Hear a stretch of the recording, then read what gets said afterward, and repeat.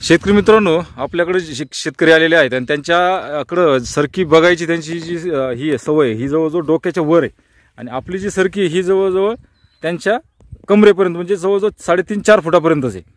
तर ही सरकी जी आहे ती ही सरकी त्यांना आवडली का? आणि काय प- काय याच्यात काय सुधारणा असतील तर काय आहे, काय नाही ते त्यांना आपण विचारणार आहे की सा कापूस जो सांगितलेला आहे जो दिसतो व्हिडिओमध्ये तसा आहे का त्याच्यापेक्षा काही वेगळा आहे? तर भाऊ आपलं नाव सांगा आणि कुठून आले आपण? नमस्कार. किशोर भागवत कदम कोठीस? हां हां. तालुका घनसावंगी जिल्हा जालना. आपण तुमच्या भागामध्ये तुम्ही सांगितलं की डोक्याच्या वरती सरकी असती. आणि जर तुम्हाला जर दिसती तर तुम्हाला जवळजवळ चार फुटाच्या खालीच सरकी दिसती तुम्हाला. बरोबर आहे? तर मग आता तुमच्या सरकीमध्ये आणि या सरकीमध्ये काय फरक जाणवतो तुम्हाला? सर बराच फरक आहे याच्यामध्ये. आमच्या जे सर्कीज आहे का हां. असा माल नाही भाऊ. बर. एकदम डोक्या पुढे हाईट खालच्या बुडाच्या तीन ते चार फांद्याला चांगला माल राहत हो. याच्यापुढे जे आहे का माल हा. टोटल निसता हिरवा पात दिसतं शेवटपर्यंत. हो. आणि एक पण पात राहायचे हेच राहत नाही. पूर्ण याच्यामध्ये याच्यामध्ये जी पातेगळ आहे ती पातेगळ हा विषय जे- या कपाशीमध्ये तुम्हाला दिसतो. जसं की आपण. व्हिडिओ सांगितलं. किंवा का- आपल्याला जे बोंड आहे ते बोंड जेवढे आले तेवढे लागलेले आणि पातेगळ झालेले नाही. तर बुडामध्ये जे काही कैऱ्या आहेत ते ते पूर्ण लागलेले का पातेगळ झालेले पूर्ण लागले एक पण पातगळ असं दिसत नाही. किंचित एक अर्ध कुठं कुठं तरी सापडून तुम्हाला. तर मग याच्यामध्ये हा प्लॉट तुम्हाला दिसतोय आता. ह्या प्लॉटमध्ये तुम्हाला एकही झाड तुमच्या डोक्यापर्यंत दिसत नाही. बरोबर? आहे आणि आपली जी पद्धत आहे आपल्यामध्ये असं म्हणलं जातं की अं, कापूस हा उंचीवर आपण ठरवतो की किती अं, मोठा पाहिजे. बरोबर आहे? हो. तर मग आता हा कापूस जो आहे तर हा कापूस शेतकऱ्यांनी करायला पाहिजे किंवा मग तुम्ही पुढच्या वर्षी करणार आहे? सर हा माझ्याकडे समजा तुमचे व्हिडिओ बघून कमी जास्त सर माझं पाच साडेपाच एकर क्षेत्र आहे. हो. सर याच्यापेक्षा थोडी माझी हाईट कमी झाली. म्हणजे नवीन असल्यामुळे सर तुमची आतापर्यंत तुमचा काही माझा संपर्क झालेला नाही. बरोबर. तुमच्या व्हिडिओच्या माध्यमातून सर माझ्याकडे साडेपाच एकर क्षेत्र आहे. हा हा. आज रोजी इतर शेतकऱ्यापेक्षा माझे शेतकरी समजा जे प्लॉट आहे आपल्या शिवारामधले हो. याच्या खालचे प्लॉट आपल्या शेजाऱ्याचे माझ्यासारखे नाहीत. आणि त्याच्या नंतर बी एवढे होणं होती ना समजा शेवटपर्यंत माझ्या कपाशीला माल तुम्ही उंची किती ठेवलेली आहे? माझी उंची उंची सर तुमच्यापेक्षा थोडी माझ्याकडून कमी झाली. एकदम आपल्या कमरेला पण झाड लागून दिलं नाही मी कसलं. ठीक आहे ना पण तुमच्या तुमच्या आजूबाजूची जी काही पाच दहा एकरची वावर आहे. त्या सर्कीत आणि तुमच्या सर्कीमध्ये काही तुम्हाला बदल वाटतो का बा तुमची चांगली वाईट काही असं? नाही सर माझ्या सरकीला तर माल त्यांच्यापेक्षा जास्त आहे. माझ्या शेजाऱ्या सरकीला हात पुरत नाही झाड आहे सर. बर. पण सध्या जे माझी कापाशी हा. किंवा कमरेच्या खालीच असल्यामुळे सर त्यांच्यापेक्षा माझ्या सरकीला माल जास्त आहे. पातेगळ कमी आहे. अं, उंची कमी केली म्हणजे बोंडाच्या साईजमध्ये बरं फरक पडतो का काही? हो पडतो ना. काय फरक पडतो? बोंड बोंडाची साईज भाऊ वाढलेली आहे त्याच्यामध्ये. माझ्याकडे वैयक्तिक हे तुमच्या शेतात तर आहेच. हो. माझ्या पण शेतामध्ये जी इतरांची बोंड आहेत हो. त्याच्यामध्ये एकदम अं, इतरापेक्षा आपली साईज डबलच असणार काही. दीड पटीन तरी जवळपास साईज भरायलाच पाहिजे. मोठाली आहे. मोठाली. तर मग ही पद्धत समजा शेतकऱ्याला करण्यासारखी आहे. हा सर करण्यासारखी. तर याच्यामध्ये तुम्ही जे अंतर लावलं हे अंतर काय लावलेलं आहे? किती अंतराने तर लावलेलं माझ्याकडं दोन एकरचा प्लॉट आहे. तर, अं, दोन अं, बाय अं, पावणे दोनच्या जवळपास वर जोड पद्धत पद्धत टाकली मी. बर. साडेपाच पावणे सहा जवळपास म्हणजे पट्टा पद्धत टाकल्यासारखी. बर. दोन ओळीतलं अंतर टाकले पावणे तीन. आणि साडेपाच फुटा जवळपास म्हणजे जोडोळ पद्धतीने तुम्ही जा आणि बाकीचं साडेचार एकर क्षेत्रामध्ये चार बाय एक बाय एक वर केलेली. ती कोरडो पद्धतीत केली सोट काढले तुम्ही? सोट काढले सर. अं, पानं काढले दीड एकर जवळपास हा. काढायचे राहिले माझ्याकडे. मग हे सोट काढणं पानं काढणं शेंडा काढणं ह्याची तिन्ही गोष्टी केल्या तुम्ही. हा. तर या गोष्टीमुळे काही खर्चामध्ये काही बचत अशी होती का त्याच्यामध्ये?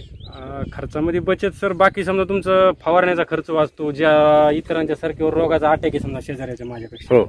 तसा माझ्या सरकीवर काही जास्त जाणवत नाही रोगाचा अटॅक वगैरे काही नाही जास्त नाही. थोडी एक दीड एकरमध्ये सर पानं वगैरे काही काढायचे राहिलेत माझे बी काही. कारण असतो. तर त्याच्यामध्ये समजा थोडं फरक तर वाटणार नाही त्याच्यात. बरं त्या- तुमचे जे मित्र आलेले तुमच्या भागामध्ये कापूस तुम्ही सांगता की जवळजवळ डोक्याची वर असतो दरवर्षी. हो बरोबर आहे? मग ह्या ह्या वर्षी आता तू यांची सरकी पाहता तुमच्या गावातली.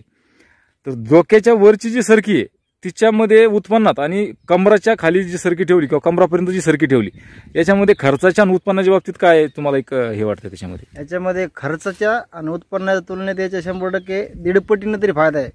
म्हणणं समजा थोडं जास्त होईल पण दीड पटीनं तरी फायदा आहे. बर. ज्यावेळेस यांनी तुमचे व्हिडिओ पाहून सर केले लोक हसले म्हणजे मीच हसू दे यांना. बर. किंवा त्यांनी सरसकट पहिले पानं चाळले. हो. लोक म्हणले आता याला पानं खालचेच गेले तर बोर बोंड कुठून येतील? पुन्हा शेंडा मारला. शेंडा त्याचा वरचा माल गेला तर ह्याला काय मालच लागत नाही. हा. आता हे बी थोडी नवीन असल्यामुळे थोडं म्हणजे भीती वाटली एक तर तुमचा संपर्क नव्हता. व्हिडिओ पाहून समजा काय खरं काय खोटं माझ्याकडून नंबर घेतला आता तुमच्याकडं. तुमच्याकडं तुम्ही म्हणताय की आमची सरकी डोक्याच्या खाली एकही नसती. नाही नाही स्वतः नाही. जाड जमिनी. आहे. आता आज चार चार बोंड सडलेत माझेतच तर मग यांची सरकी आज तीन फूट आहे.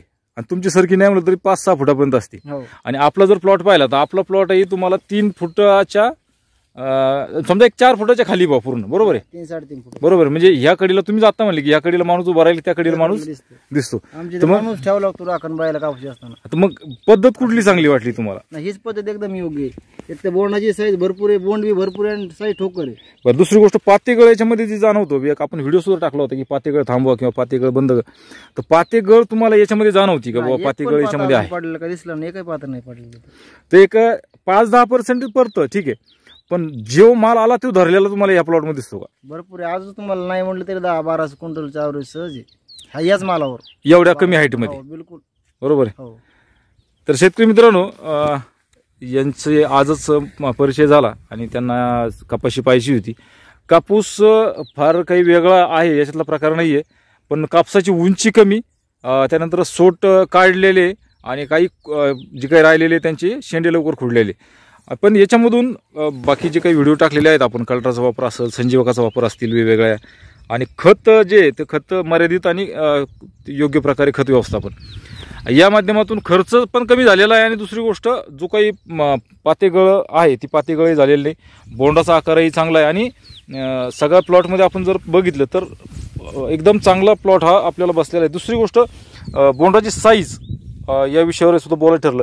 तर तुम्हाला बोंडाच्या साईजमध्ये काही फरक जाणवतो का तुमच्या? आणि जे काही शेंडा आहे ज्या शेंड्याला समजा शेंडा आणि सोट आहे आणि ज्याची उंची सहा फूट आहे आणि तुमची उंची समजा तुमच्या कपाशीची तीन फूट आहे तर मग बोंडाच्या साईजमध्ये काही आहे का? बदल आहे का? आहे सर.